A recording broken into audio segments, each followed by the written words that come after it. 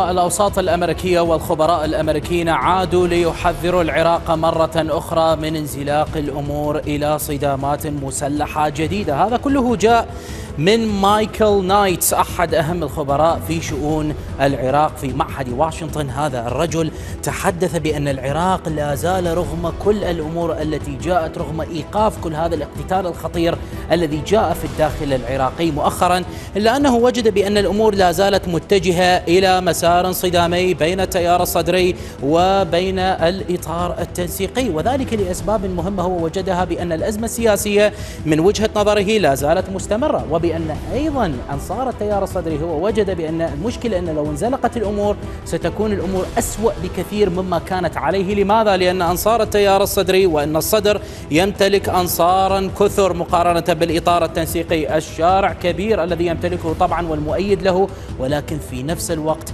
هو لا يمتلك السلاح الكبير أو الكثير مقارنة بالطرف الآخر الذي هو يتحداه دائما وعلى هذا الأساس في ظل هذه المعادلة وجد مايكل نايت بأن الأمور آه، قد تكون خطيرة للغاية وقد يكون الصراع دمويا وطويلا للأمد إن انزلقت الأمور إلى هذا الطريق مرة أخرى. الكس ألميدا وهو مستشار الأمن القومي في آه، موقع وفي مركز Horizon Client Access قد تحدث عن نفس هذه المسألة بل إنه وجد بأن الأمور لو انزلقت مرة أخرى إلى هذا الصراع فإن الوضع في العراق سيشبه تماما. ما جرى وما, لا وما زال يجري في داخل اليمن وفي داخل ليبيا لأن هذا صراعا سيكون بين أطراف وبين قوات هي غير حكومية تتنازع فيما بينها البعض فيما بعضها البعض طبعا بهذا الشكل. وبالتالي ستدمر تماما البنى التحتية العراقية وسيكون هذا الأمر خطيرا إن لم تتوافق وتتوافق جميع الأطراف السياسية بأسرع وقت ممكن. وهذا ما ذكره وما ثبته مايكل نايتس بهذا الشكل. قال العراق في مسار تصادمي. البلد يواجه مأزقا دمويا طويل الأمد إذا حدث ذلك لأن الصدر يقود عدد أكبر من المؤيدين لكن لديه أسلحة أقل من منافسيه المدعومين من إيران. وبعدها أضافت الصحيفة أن أي سلام الآن قد يكون هشا. أي أنه مؤقت ولا بد من الوصول إلى حلول الآن. وهذه للأسف الشديد هي لا زالت حاضرة في الداخل العراقي. الأزمة السياسية لا زالت مستمرة. الأمر كان واضحا من كلمة رسمية وواضحة للشعب العراقي من رئيس الوزراء العراقي السيد مصطفى الكاظمي ورئيس الجمهورية العراقية الدكتور برهم صالح. وضحوا من خلال خطابهم يجب أن يكون هنالك حوارا إصلاحا للمنظومة السياسية. دعونا نتوجه إلى انتخابات مبكرة. دعونا نصلح الأمور. ولكن المفاجأة الكبيرة كانت قادمة من بيان من الإطار التنسيقي الذي وضح بأنهم يريدون إكمال استحقاقاتهم الدستورية والتوجه لتشكيل حكومة آه، عراقية آه، لكي تخدم الوطن. وهذا الأمر أيضا أكده الشيخ قيس الخزعلي بنفس الطريقة بكلمة بهذا الشكل وبالتالي وكأن شيئا لم يكن. رغم كل هذا الاقتتال ورغم كل ما جاء فإن الأمور لا زالت في طريق واستمرار وأن الإطار التنسيقي لا زال مستمرا ومصرا على تشكيل الحكومة كونه هو الكتلة الأكبر في البرلمان العراقي وأن هذا استحقاقا دستوريا من وجهة نظرهم. وبالتالي وعلى هذا الأساس الأمور لا زالت خطيرة وخطيرة للغاية. وهذا طبعا أثار غضب وزير السيد مقتدى الصدر السيد صالح محمد العراقي بتغريدة صدرت اليوم بهذا الشكل وكانت هجومية بشكل كبير على الإطار التنسيقي. هو قال بأنه صراع الوجود وكذلك بأنه وصف وقال إن لم تعلنوا الحدود إن لم يعلنوا الحداد عفوا فليعتبروني والتيار من اليوم عدوهم الأول بكل السبل المتاحة وبعيدا عن العنف والاغتيالات. وأرسل رسالة إلى إيران مباشرة وطلب منها وقال ندائي للجارة إيران أن تكبح جماح بعيرها في العراق وإلا فلا حين مندم وبالتالي أيضا صفحات خاصة بالتيار الصدري على التليجرام كانت قد وضحت بشكل واضح بعد أن أكدت بأنها توقفت من عمليات النشر عادت من جديد بعد هذه التغريدة وقالوا عدنا لأجل دماء الشهداء ويظنون بأننا سنطيل الغياب ولا يعلمون بأننا كالبرق نخطفهم غفلة من حيث لا يشعرون. الأمور لا زالت تصعيدية وخطيرة وهذا ما يحذر منه الأمريكيون وكذلك هو نفس الأمر وهذه نفس القضية تماما التي اتفق معها ومعها موقع أمواج ميديا صاحب أهم وأخطر التسريبات. وجد بأن الأمور لا زالت في تصعيد خطير للغاية ولكن بعد كشفه لحقيقة ما جرى من عملية إيقاف إطلاق النار وكيف أن السيد مقتدى الصدر بحسب مصادر تحصلوا عليها كيف وصل وكيف وما هي طبيعة الوساطات التي لعبت دورا في عملية إيقاف إطلاق النار. فبالنسبة لهذه المصادر أكدت بأن السيد محمد الكوثراني وهو ممثل حزب الله في الداخل العراقي أكدت بأن الرجل بدأ يلعب أدوارا مهمة منذ عام 2020 منذ اغتيال الجنرال الإيراني قاسم سليماني وكذلك أبو مهدي المهندس بدأ يلعب دورا مهما في عملية تقريب وجهات النظر بين السيد مقتدى الصدر وبين الأحزاب التي تنافس السيد مقتدى الصدر والتي هي مدعومة من إيران. وطبعا هو يحاول دائما آه، تقريب وجهات النظر إنهاء الخلافات بينها منذ ذلك العام وذلك لأن هنالك قضية مهمة بأن إيران والحرس الثوري الإيراني غير قادرين على الوصول إلى أي تفاهمات مع السيد مقتدى الصدر. وبالتالي أصبحت هذه مهمة هذا الرجل وبالتالي بعد اندلاع الأزمة السياسية وبعد اندلاع الصدامات المسلحة الخطيرة التي جاءت في الداخل العراقي وبشكل خطير في المنطقة الخضراء بين أنصار التيار الصدري وطبعا بين الأطراف التي كانت تواجهه من منافسيه كما وصفهم الفصائل المسلحة بالنسبة لأنصار آه، بالنسبة للسيد مقتدى الصدر فإنه بدأ يلعب دورا ولعب دورا كبيرا في تلك الليلة بالنسبة للسيد محمد الكوثراني بحسب مصادر أمواج دوت ميديا من أجل تحقيق اتصال بين السيد حسن نصر الله وكذلك السيد مقتدى الصدر من لبنان مباشرة وأكدت هذه المصادر بأن السيد مقتدى الصدر وافق على هذا الاتصال. تم هذا الاتصال من دون أي تدخل إيراني ومن دون أي تدخل من الحرس الثوري الإيراني. السيد حسن نصر الله من تلقاء نفسه اتصل بالسيد مقتدى الصدر والسيد مقتدى الصدر ظهر أمام الجميع وطبعا أوقف إطلاق النار وبالتالي لم يكن هنالك أي طرف آخر بحسب هذه المصادر متدخلا في هذه المسألة. ولكن الأزمة لا زالت مستمرة كما تحدثنا بحسب أمواج دوت ميديا. وهذا ما ذكرته اليوم. يبدو أن القصة تدخل فصلا جديدا في حين أن نصر الله قد يكون قد أخمد الحريق في بغداد في الوقت الحالي. إلا أن النيران لا تزال مشتعلة تحت الرماد. الولايات المتحدة الأمريكية من جهة أخرى هي لا زالت تتعامل بحذر بتفاصيل قادمة من الول ستريت جورنال جاءت حول هذا المنشور الذي اشتهر وانتشر كثيرا ونشره أساسا التحالف الدولي أو عملية العزم الصلب على صفحاتهم على تويتر. وبعد ذلك نشروه وأكدوا أن طائرات مسيرة في الخامس عشر من أغسطس هاجمت قاعدة التنف التي تأتي في المثلث الحدودي بين العراق والأردن وسوريا بأن هذه الطائرات كانت طائرتين مسيرتين ذو اتجاه واحد مفخخة قادمة من محافظة بابل المنشور. طبعا حذف بهذا الشكل وبعض الأوساط قالت بأن الولايات المتحدة الأمريكية نشرت معلومة خاطئة حول هذا الموضوع إلا أن الول ستريت جورنال وضحت من مصادر ومسؤولين أمريكيين بأن البنتاغون هو الذي أعطى الأوامر بحذف هذه التغريدة لأنهم لا يريدون أن يزيدوا من الموقف صعوبة في المشهد السياسي العراقي لأن في العراق هنالك اضطرابات ولا داعي لكشف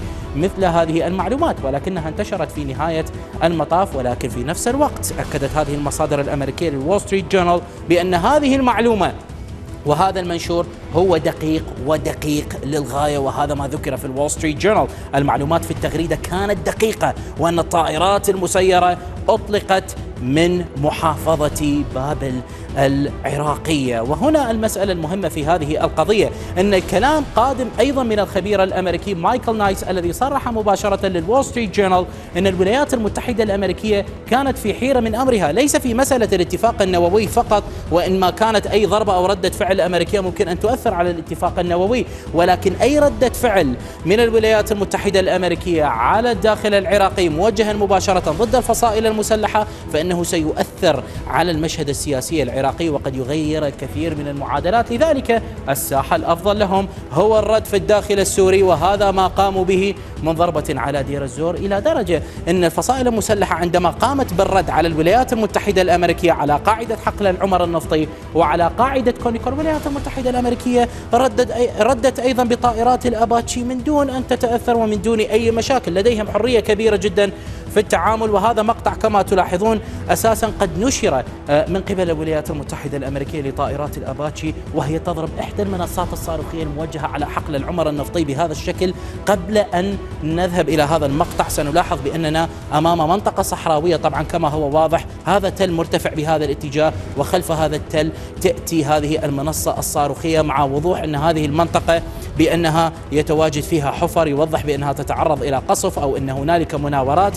وغيرها وبالتالي هم نشروا بهذا الشكل الضربات كيف أن طائرات الأباتشي جاءت من دون أي مشاكل لضرب هذه المنصة بكل دقة عالية. وإذا ما ذهبنا للتأكد من طبيعة هذا الموقع على القمر الصناعي بهذا الشكل لنتوجه بسرعة كبيرة للغاية إلى مدينة الميادين التي شهدت هذه الصدامات وهو الذي يوضح حرية الولايات المتحدة الأمريكية في هذه المسألة. هنا الحدود العراقية هذه هي طبعا العراقية السورية. هنا سوريا هذه هي مدينة الميادين التي ترونها. المنطقة تأتي بهذا الاتجاه بالنسبة للنقطة التي تحدثنا عنها آه، طبعا بكل تأكيد التي استخدمت منها الصواريخ وبالتفافة بسيطة بهذا الاتجاه الذي تلاحظونه فإن المرتفع يأتي بهذا الاتجاه. هذا هو المرتفع الذي تلاحظونه والمنطقة كانت بهذا الاتجاه التي أطلقت منها الصواريخ. وعلى هذا الأساس عندما ننظر نظرة عامة لهذا الموقع فإن الموقع الذي جاءت منه الصواريخ كما نلاحظ الآن بهذا الشكل فإنه لا يبعد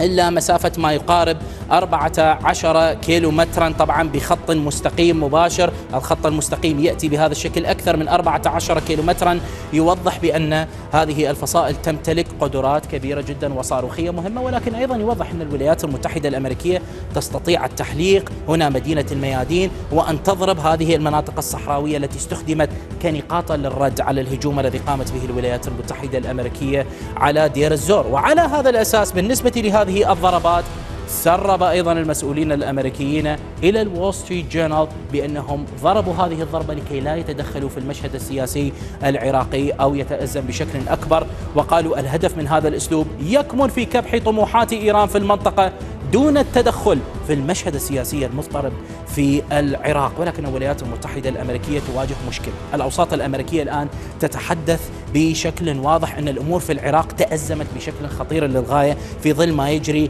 وما جرى بين التيار الصدري والإطار التنسيقي واستمرار هذه المشكلة. فهم يجدون أن اعتزال السيد كاظم الحائري وتحويل مسألة المرجعية بيد المرشد الأعلى السيد الخامنئي واعتزال السيد مقتدى الصدر في المسائل السياسية وأنه لن يتدخل في مسائل الشؤون السياسية فإن هذا يعني أن العراق وبأن العراق آه، أصبحت مرجعيته بيد آه، إيران بشكل مباشر وأن النفوذ الإيراني سيعني بأنه سيزداد بشكل مباشر على الكثير وعلى الكثير من المستويات.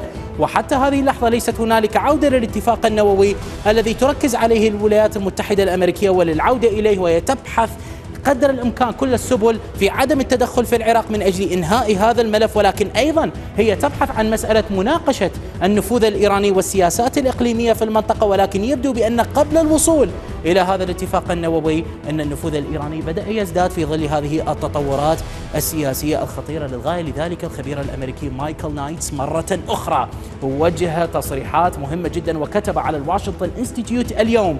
قال بأن على الولايات المتحدة الأمريكية لكي تبتعد عن مسائل الصدامات الخطيرة التي جاءت في المنطقة الخضراء عليها أن تتوجه وأن تحث الحكومة العراقية على الطلب من الفصائل المسلحة الموجودة في داخل المنطقة الخضراء أن تخرج من المنطقة الخضراء للابتعاد من هذه الصدامات خاصة وأن الحكومة العراقية ليست ضد أحد. هي مع كل الشعب العراقي وهي لم تكن جزءا من هذا الصراع والاشتباكات التي كانت حاضرة بحسب تعبير مايكل نايتس وقال على الولايات المتحدة وشركائها حث بغداد على مطالبة جميع الفصائل وقوات الحراسة الشخصية الكبيرة بالخروج من المنطقة الخضراء حتى تلك التي تتنكر على شكل وحدات تديرها آه، الحكومة. وبالتالي يجب أن ننتبه بأن الولايات المتحدة الأمريكية ترى الكثير من الأمور التي تجري في المنطقة الخضراء وفي بغداد وما جرى. على سبيل المثال ماكسار تكنولوجيز التي ترونها الشركة الأمريكية التي يقع مقرها في ولاية كولورادو. هي قد وضحت ونشرت بعد انسحاب آه، آه، أنصار التيار الصدري. سرايا السلام وانتهاء عملية إطلاق النار والاشتباكات الخطيرة التي شهدتها بغداد. نشروا بالأقمار الصناعية صور ما جرى هنا. كما تلاحظون بهذا الاتجاه على سبيل المثال من هذه الصور الدقيقة للغاية هنا مجلس النواب العراقي هنا الجندي المجهول. هذه كلها طبعا الضربات وآثار الضربات الكبيرة الصاروخية والاشتباكات التي جاءت بهذا الشكل من هذا المدخل إلى المنطقة الخضراء. وبالتالي هنا توضح أن الولايات المتحدة الأمريكية ترى كل صغيرة وكبيرة إذا ما تحدثنا فقط عن ما نشر من الأقمار الصناعية. هذا هو مجلس النواب. تلاحظ دقة الصورة القادمة من هذه الأقمار الصناعية الأمريكية لطبيعة طبعا التنتس أو الخيم التي هي لهؤلاء طبعا المتظاهرين. وبالتالي تلاحظ هذه صورة أخرى لمدخل آخر بهذا الشكل للبوابة الأخرى التي شهدت الكثير من الصدامات. وهنا طبعا كما نلاحظ جسر الجمهورية هنا وزارة التخطيط. وهذه الصور توضح تماما بأن الولايات المتحدة الأمريكية لديها الكثير من المعلومات. وهو ما دفع مايكل نايتس أن يقول أن الرصاصة الأولى كانت قد انطلقت من الفصائل المسلحة تجاه سرايا السلام بحسب تعبير مايكل نايتس وهو طبعا بكل تأكيد لديه سبب للحديث عن هذه المسألة. كذلك الولايات المتحدة الأمريكية بما أنها بدأت ترى أن هنالك نفوذا ولم نعد إلى الاتفاق النووي هنالك خطرا على الاتفاق النووي في ظل هذه المتغيرات أن هنالك مشكلة مرتبطة في الطاقة هي مستمرة. والشركات الأمريكية دخلت في لحظات صعبة للغاية وهي تنسحب بشكل مستمر من الداخل إقليم كردستان وهذا كله مرتبط آه، بتفاصيل حصرية قد نشرت اليوم على وكالة رويترز مرتبطة بما جرى بالضبط من هجمات كانت هي حاضرة بشكل مباشر على حقل كورمور. هنا بهذا الاتجاه حقل كورمور الذي ترونه المناطق باللون الأصفر وهذا هو العراق طبعا والجهة الشمالية من العراق باللون الأصفر هي مناطق سيطرة حكومة إقليم كردستان. هذه المنطقة حقل كورمور دعونا نقترب منه. تعرض إلى هجمات بدأت منذ الحادي والعشرين من يونيو الماضي بهجمات صاروخية من الفصائل المسلحة بشكل مستمر واستمرت هذه الهجمات آه، آه، طبعا من أجل آه، تحقيق العديد من الأمور ضد هذه النقطة. وهذه النقطة بحسب رويترز أكدت بأن إحدى الشركات المهمة وهي شركة أمريكية وهي Exterran التي تلاحظونها هنا وكذلك شركتين تركيتين كانت مسؤولة عن عملية توسيع هذا الحقل. الحقل هو مملوك وتديره بشكل آه، مباشر هي شركة دانا غاز آه، الإماراتية. لكن هذه الشركات هي مسؤولة عن عملية التوسيع الخاصة بهذا الحقل من أجل مضاعفة الإنتاج في هذا الحقل. المشكلة الحقيقية مع هذه الضربات الصاروخية هذه الشركات انسحبت عادت هذه الشركة الأمريكية مرة أخرى إلى الحقل آه، الشهر الماضي وبعد ذلك عادت مرة ثانية وانسحبت بسبب ضربة جاءت بصاروخين مباشرة على هذا الحقل. الحقل يتعرض إلى الكثير من الهجمات وبالتالي الشركات الأمريكية دخلت في مشكلة حقيقية وأن هنالك تمويلا لهذا الحقل تحديدا. تحدثت عنه المصادر الخاصة آه، لوكالة رويترز بأن التمويل هو يصل إلى أقليم كردستان إلى ما يقارب 250 مليون دولار. من أجل توسيع هذا الحقل بشكل مهم ومن أجل زيادة الإنتاج الخاص به. ولكن الأمور تتعرقل وهذه الشركات غير قادرة في العمل. وكذلك التفاصيل المثيرة بهذا الأمر أكدت بأن مجموعة كار قد وقعت اتفاقية مع حكومة إقليم كردستان من أجل إمداد أنبوب من هذا الحقل حقل كورمور مباشرة إلى أربيل مباشرة إلى دهوك مباشرة إلى زاخو ليمتد إلى تركيا مباشرة وأن هذا المشروع أيضا هو متوقف وعلى هذا الأساس وجدت بشكل مباشر وكالة رويترز بأن هنالك خطرا كبيرا أصبح على حكومة إقليم كردستان في ظل أن الأزمة السياسية مستمرة وبأن هنالك ليس هنالك إقرارا للموازنة وحكومة إقليم كردستان أساسا هي مديونة بما يصل إلى 38 مليار دولار وبالتالي أن عدم وصولهم حتى مايو العام القادم مايو عام 2023 إن لم يتمكنوا من توسيع هذا الحقل وهذه الشركات لم تتمكن من العمل وتوسيع هذا الحقل فإن هذا سيضع آه، إقليم كردستان في مشكلة حقيقية سيدفعها بحسب هذه المصادر في رويترز أن تدفع ما يقارب الأربعين مليون دولار شهريا إلى شركة دانا غاز من أجل آه، تهيئة البنى التحتية. طبعا لهذا الحقل المهم للغاية وبالتالي هذه مشكلة حقيقية وإن دخلنا في هذا المنعطف حتى العام القادم فهذا يعني أن في إقليم كردستان أيضا ستكون هنالك مشكلة حقيقية وهذا ما يقلق الولايات المتحدة الأمريكية. مسائل الطاقة هي المسائل الأهم بالنسبة إليهم بالنسبة للكونغرس الأمريكي وهم دفعوا الرئيس الأمريكي جو بايدن في الفترة الأخيرة للقيام بشيء تجاه هذا الأمر.